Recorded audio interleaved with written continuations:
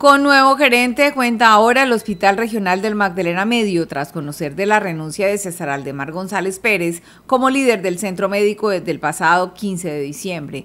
El médico Pablo Rojas Torres ha sido ahora designado por la Gobernación de Santander como titular de las funciones ahora de la gerencia del Hospital Regional del Magdalena Medio.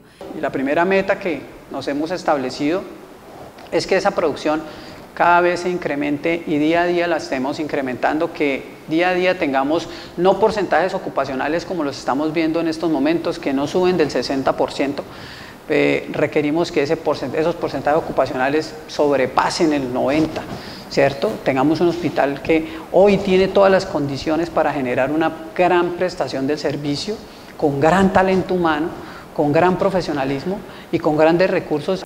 Con 43 años, el nuevo gerente es especialista en administración en servicios de salud, con experiencia en el sector público y privado en Santander, así como también en áreas financiera y contable de la red de servicios de salud del departamento.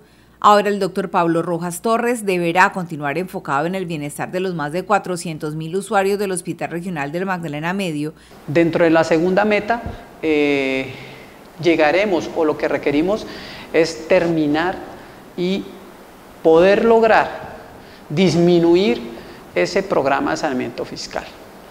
Ese, mm, digamos que ese ha sido algo difícil, pero yo creo que no es imposible, donde vamos a poder solventar mucho de esa déficit que presenta hoy y esa deuda que se está congojando. Hay que trabajar de corazón, de corazón para su municipio y más el corazón para esta institución.